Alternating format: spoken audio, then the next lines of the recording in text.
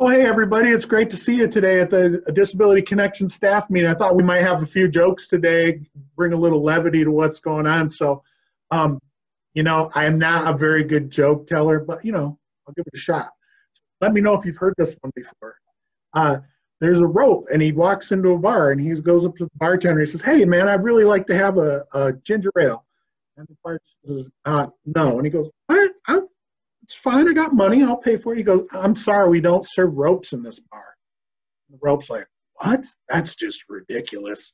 You, you're a jerk. I don't even want to drink here." And he's like, "Good, get out." And he walks through the back doors. They swing and all that. A few minutes later, here comes somebody in the bar, and the dip bartender says, Hey, aren't you that rope that was just in here trying to get a drink? And he goes, No, I'm sorry. I'm afraid not.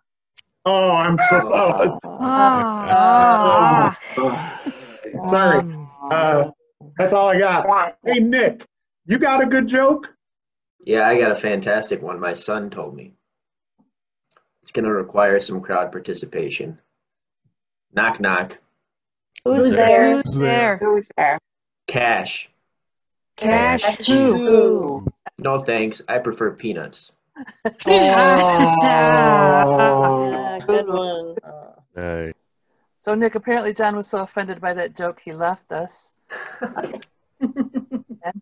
Um, so who else has one? How about um, Mindy? What have you got? All right. I got a picture. Can I show the picture too? If you can see it. A cow. all right. And it goes, Do you know where cows' farts come from? the dairy air. Uh, Ah. wow. I know. Richard, you're our new guy. Can you beat that? All right, I got a I got a science oriented uh, joke for you. Mm. Um, so a neutron walks into a bar and orders a drink, and he asks the bartender how much. The bartender says, "For you, no charge." Oh, What? man. Do the cymbal, but don't bump. uh, very funny. Who's next? How about Carmen? Hello there. Mine has a picture as well. If you can see it. Let me get a little closer. See that little pepper?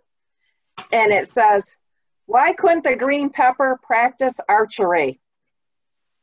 Why? Why? Because he Wow. didn't have an arrow. An arrow. Oh, He didn't have an arrow. habanero. I think that was quite hot myself. That was that was very hot. So I have a foodie. too.